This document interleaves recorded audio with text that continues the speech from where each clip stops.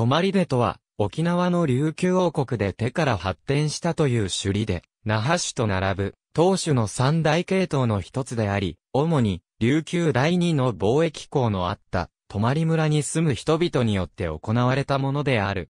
泊は貿易港であったため、当時、多くの中国人と貿易に携わる外国人が出入りしていた。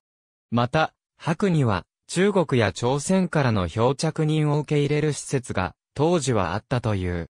この施設に収容される漂着人の中には憲法に長じた人もおり、このような漂着人から地元の村人が憲法の教えをこうて習ったのが、泊まりでの始まりであると言われている。泊まりでの明確な起源は、首里で、那覇で以上に半然としない。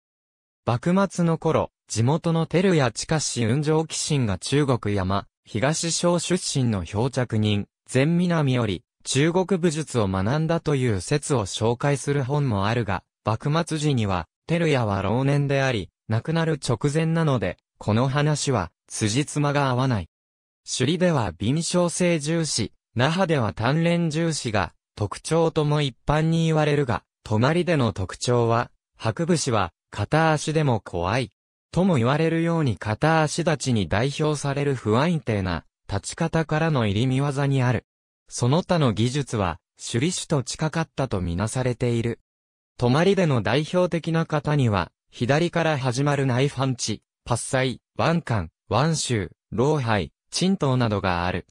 泊まりでの代表的な空手家は、照屋の他には、宇久嘉隆、松茂良興作、親泊興寛、山田義恵、伊波興達、仲宗根正侑などがいる。伊波に教えを受けた、久場町、人志の系統のやら町医が、大阪で活動しており、泊種を継承している。